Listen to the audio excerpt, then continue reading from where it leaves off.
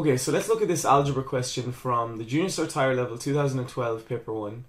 It's question 8, and it says, A capacitor is a device which stores electricity. The formula, W equals a half CV squared, gives the energy stored in the capacitor, where W is the energy, C is the capacitance, and V is the voltage. So we're asked to find the amount of energy stored in a capacitor when C is equal to 2500 and V equals 32. So this is a simple substitution question.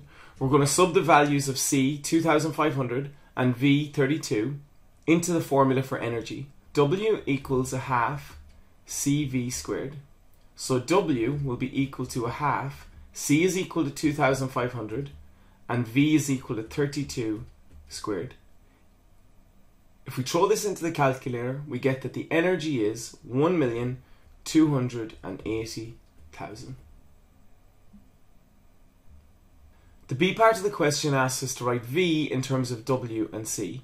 So we have our formula from before and we're going to try and isolate the V. So this is a manipulation of formula question. The first thing that we're going to do is to get rid of the fractions is we're going to multiply both sides of the equation by 2.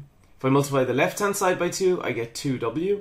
And if I multiply the right hand side, well 2 by a half is 1, so we have cv squared.